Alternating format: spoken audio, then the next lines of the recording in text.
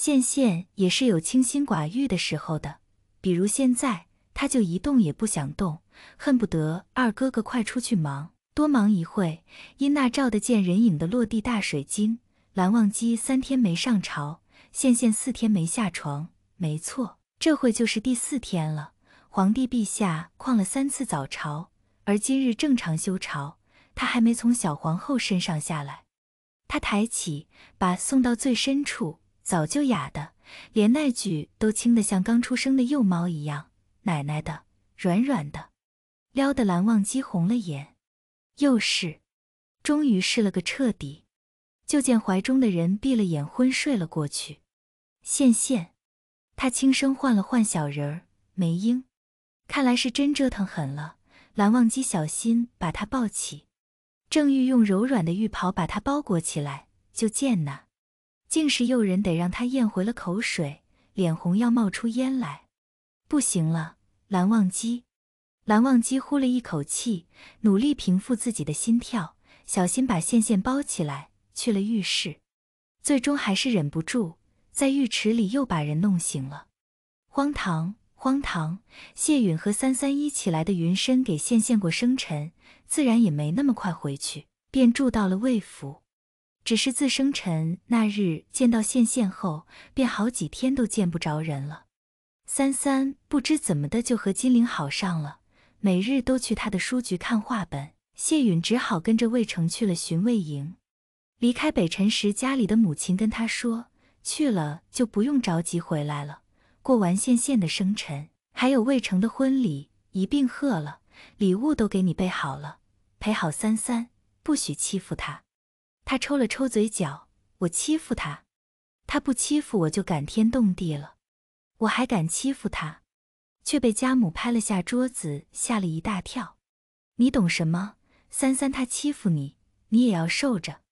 你这身体能健健康康活到现在，还不是因为三宝？嗯，谢允还是第一次听这话，疑惑，所以忍不住就问母亲怎么回事。才知道，原来自己小时候身体不好，小三三一听哥哥生病了，就自己请命陪哥哥锻炼，所以每次都拉着他练功切磋。小小年纪怕哥哥太弱，保护不了自己，还下了决心要保护哥哥，因此自小就勤学苦练各种功法，熟悉各种兵器，还对好多不同的暗门有了解。这就是为什么他现在什么暗器、什么兵器都耍得出众，打遍北辰无敌手的原因，也因此多了几分额，可能有十分那么多暴力。他一直以为三三做那些是因为喜欢，却从来没有深究过起因。如今想起来，那孩子确实从小就跟着自己，动不动就说要保护自己，也爱拉着自己比武，还总是拉着自己到处乱跑。原来竟是为了自己，他心中忽然不知道作何想法，只觉得心有点满。再看三三时，居然不好意思起来，所以一起到云身后，他倒是有点故意躲着他，怕自己忽然对他有奇怪的冲动。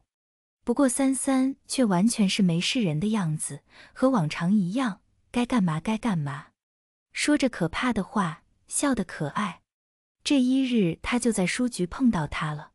魏成想去看金陵，谢云也没其他事，便一起去了。他不想见到三三，又想偷偷看看他，然后便看见他和一白衣男子聊得火热。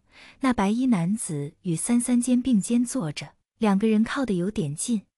从男子头上的墨额可以看出，他是蓝氏皇室中人。墨额中还有简单的卷云纹路。不像一般旁枝一样，只是一条没有多加修饰的墨额，所以说他的地位不低，看模样皇子的可能性最大。不过蓝忘机登基后，皇子们就改称呼为王爷了，毕竟他们不是蓝忘机的儿子。谢允皱了眉头，脸色难看，连自己都没有发觉。他酸酸地问魏成：“那位是谁？”魏成哪有什么心思关心他的情绪？一进门，早就奔着金陵去了，抛了一句“九王爷”，就丢下他走了。谢云躲在书柜后偷看三三和那人。就看见那男的确实有一点蓝忘机的风范，仪态举止得体端正，和三三聊天时还时不时就羞涩脸红，一看就是喜欢他的三三。他还对着三三笑，帮三三整理垂下来的乱发。谢云简直气炸了，他怎么可以摸三三的头发？他还碰到了三三的手，那是别人能随便碰的手吗？这是要做很多暗器兵器的灵巧的手，怎么打可以让人随便碰？那人居然打开了三三的手，在中间比划。他是看上三三手上的茧子了吗？那那可是只有他才可以抹撒的可爱手茧，只有他可以。谢允越看越气，可是他还是没胆子过去见三三。不知不觉越趴越近，直接贴在了书柜上。惹得往来的人一脸诧异和嫌弃，免不了在后面说一句：“那人干嘛啊？有病吧？”呵呵。然后大概是谢允趴得太用力，看得太投入，酸得太激动，忽然那书架出现了一点倾斜，然后就那么不可控制的哗啦哗啦，越倾越斜，直接倒了下去。谢允一脸尴尬，挠着头，还想着怎么解释。却看见三三完全没有发现他，反而是被白衣男子护在了怀里。没事吧？白衣男子一脸担心。无事。三三居然笑了。哎呀呀呀！他对着他笑了，还笑得那么娇羞。没错，就是娇羞。谢允直接控制不住了，上前就把那男子拉了起来，又把三三拉进自己的怀里。你你，他一时不知道说什么。反而是被自己的联想气得大喘气，反而惹三三人忍不住笑起来。允哥哥，你做什么？我尴尬。一群人都围了过来，金陵和魏成也来了，不好一直抱着三三。谢允气恼地看着书架，松开三三去把书架扶起来，才觉得自己今日真是不正常，不过却还是不知道原因。只是在最后，三三对着九王爷行了个礼，牵起他的手，笑得灿烂，甜甜的对他说：“允哥哥，一起回家吧。”他一下子失了神。经过几日躺在床上的思考人生，羡羡觉得自己不该再胡乱招惹二哥哥了。夫妻之间，除了床子之欢，还有很多其他有意义的事情。每个人都应该有一点自己的私人空间。嗯。不能总是粘在一起，要有一些距离感。他揉了揉自己还在发软的腿，伸了个懒腰，啊，好酸，又躺了回去。还是再休息一天吧，起不来。二哥哥太厉害了，真是累死我了。小人小声嘀咕着，一转头便看见落地水晶里自己满身的红印子，还真是没有一处不被疼爱。他叹了一口气，还是起身了。随手抓了一旁的红色袍子，便披上，走路带点不适的扭动，却是风情万种的模样。蓝忘机这几日见羡羡起不来床，把折子搬到寝殿来披，这会也不知道是太认真还是怎么，并没有抬头。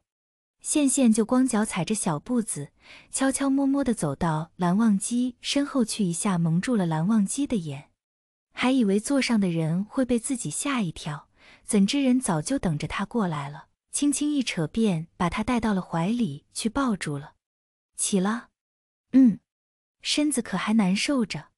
可难受了，哪哪都酸酸软软的。蓝忘机忍不住笑，拇指划过他的脸颊。我还以为你这会过来是邀夫君再战三百回合的呢。怀中人马上撅起来嘴，眼睛水汪汪的看他。不了不了，羡羡怕了。蓝忘机笑得更开了，拉了拉他松垮垮的红衣领子，那还穿成这样，你不怕夫君忍不住？他低头在那诱人的锁骨上嘬了一小口，羡羡赶紧拉紧了领口护住自己，不许不许，二哥哥不许欺负羡羡了。蓝忘机一脸宠溺笑，控制住自己的欲望，赶紧换人来给小皇后更衣布扇，分散注意力，不然还真是怕自己又忍不住。